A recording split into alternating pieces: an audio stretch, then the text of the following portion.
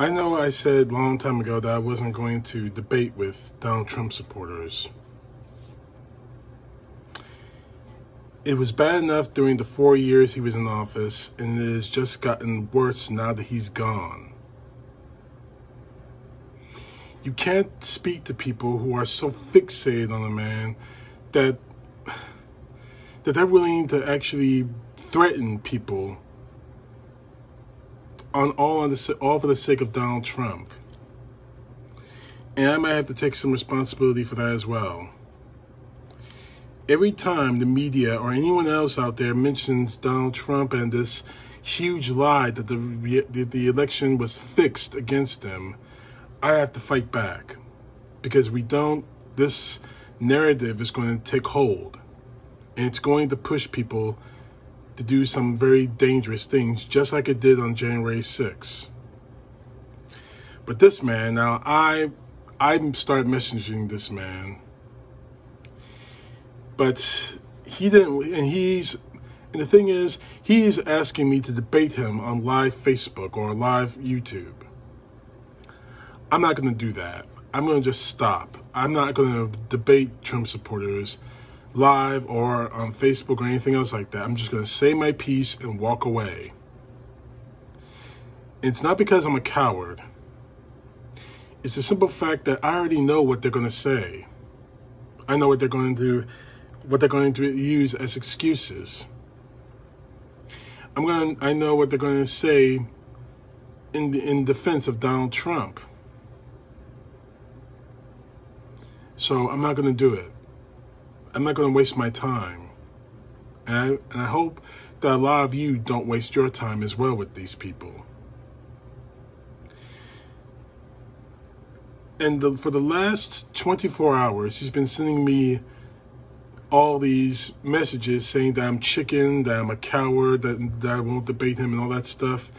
But one message that I will take this as a direct threat. He says this, and I quote, Now I said this saying that that they're saying that they these Trump supporters are going to try to push another another chance at another January 6th insurrection. He says this, fuck that. I'll do you one better. One, one dash six as in January 6th was just the beginning. It's going to get much worse than that. Wish it was wish it was avoidable, but the course is set. What does that sound like to you? To me, it sounds like a damn threat. All this just because Donald Trump wasn't reelected? So you're going to, to transmit threats because Donald Trump wasn't reelected.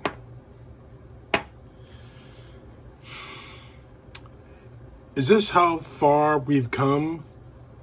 Is this how dark we've come as people, as Americans, that we have to actually threaten other people because their presidential candidate didn't get in.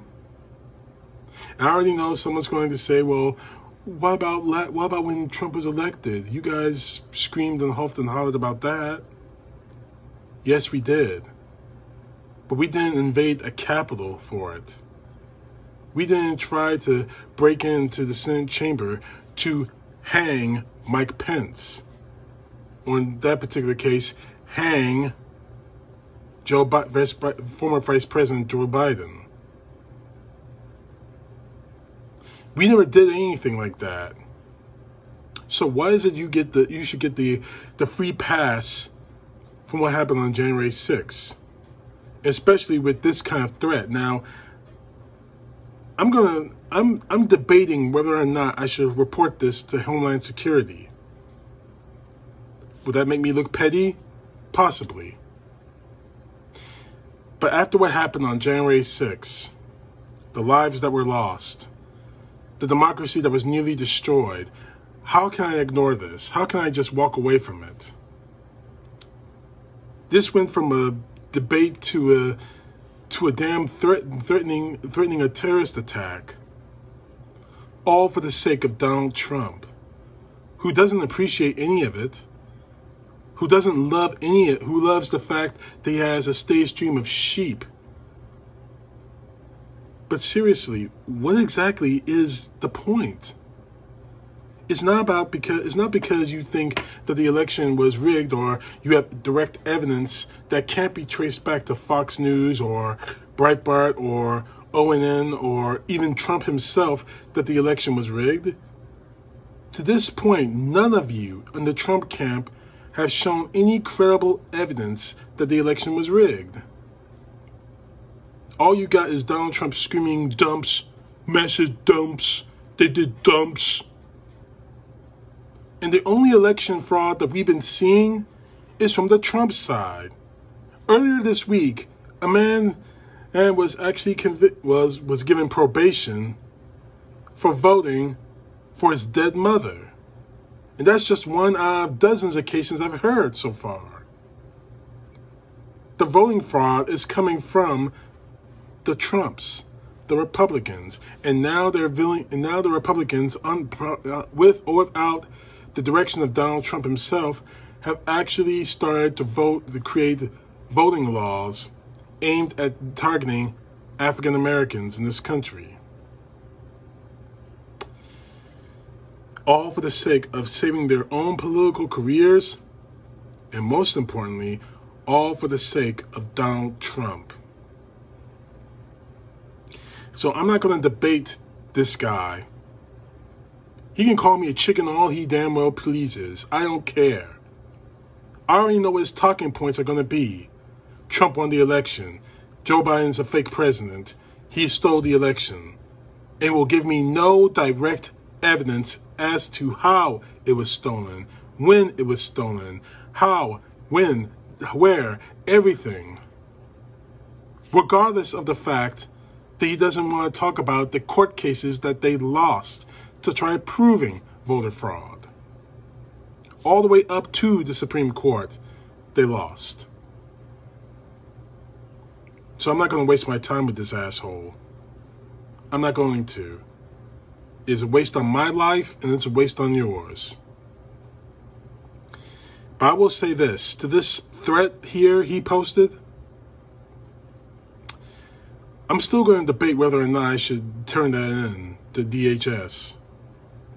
Not because it's a bitch move, because ever since January 6th, ever since then, we've been getting threats of violence against voters who don't support Donald Trump.